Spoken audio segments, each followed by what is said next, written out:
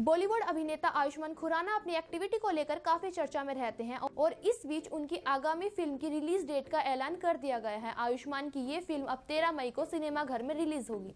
नमस्कार, स्वागत है आपका हिमकॉम न्यूज़ में। मैं हूँ आपके साथ बबली। बॉलीवुड अभिनेता आयुष्मान खुराना अपनी एक्टिविटी को लेकर काफ़ी चर्चा में रहते हैं। साथ ही वे देश के सामाजिक मुद्दों पर अपनी राय व्यक्त करते हैं।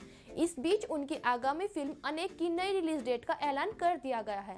आयुष्मान खुराना की ये फ़िल्म 13 मई को सिनेमा घरों में रिलीज़ होगी। अभिनेता ने फ़िल्म की रिलीज़ डेट की जानकारी अपनी इंस्टाग्राम पर एक पोस्ट शेयर करते हुए दी। उस पोस्ट में आयुष्मान खुराना एक चट्टान के पीछे से कैमरे की ओर देखते हुए दिख रहे हैं।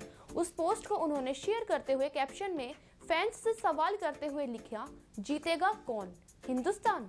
अनेक सिनेमा घरों में 13 मई 2022 को रिलीज़ होगी।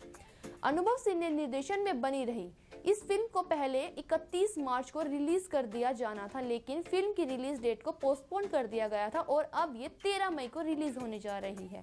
इस फ़िल्म में आयुष्मान खुराना, जोशुआ का किरदार निभा रहे हैं। हाल ही में आयुष्मान खुराना ने न्यूज़ एजेंसी IAFS से बात करते हुए कहा, मैंने हमेशा महसूस किया है कि मैंने ऐसी फ़िल्मों में काम किया जो न केवल लोगों को मनोरंजन करती है, बल्कि अपने अनोखे और मज़ेदार तरीके से लोगों को सोचने के लिए मैसेज भी देती है।